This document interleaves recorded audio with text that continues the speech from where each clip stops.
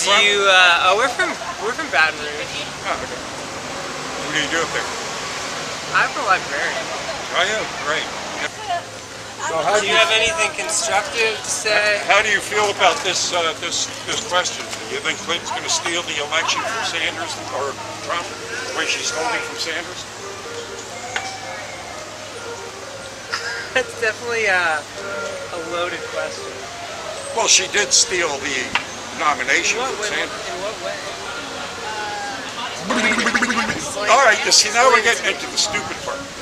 On the eve of the Democratic National Convention, WikiLeaks released emails that they hacked into the DNC, proving that the DNC colluded with Clinton to rig the election for Clinton. That's They why. definitely supported her. That's why. Well, that's why Wasserman Schultz resigned in shame and was booed off the stage on the day of the convention. Right?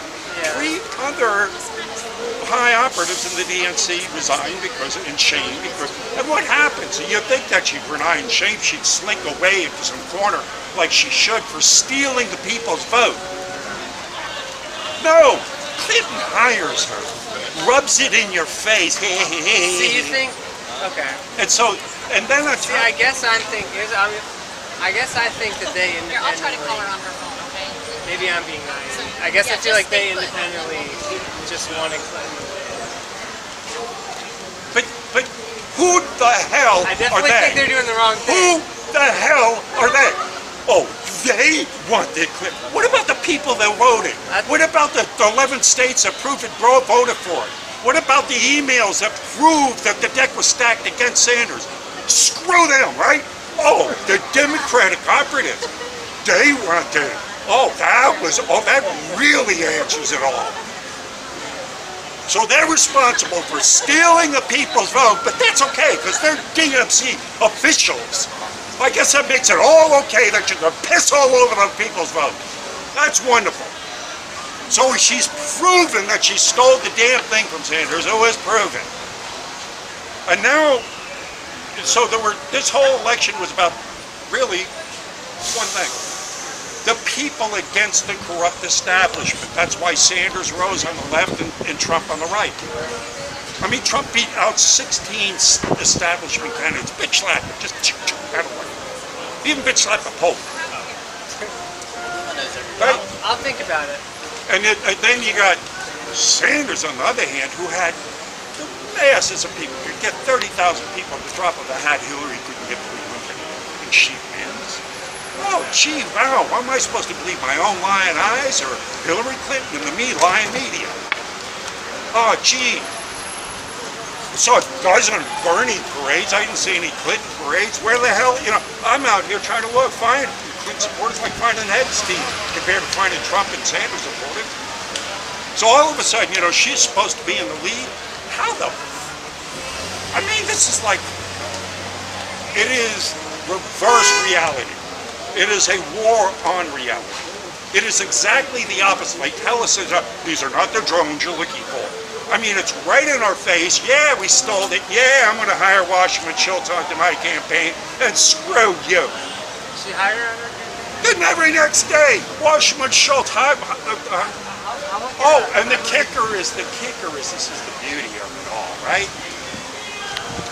Sanders, of course, instead of walking in there with the evidence and going, "Give me the nomination," he goes, "The but you, you got to support,"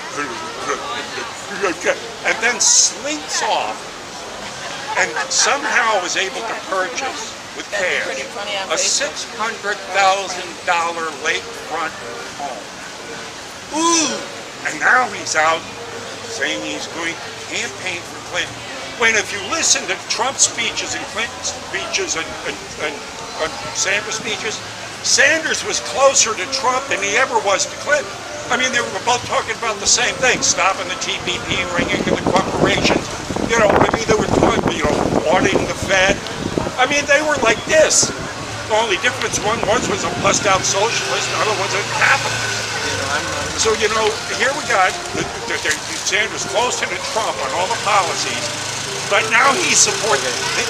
I mean, why not just take a knife and twist it a little bit more, Bernie? So the lowest form of life on this planet ha- has to be a former Sanders supporter now vote for Clinton.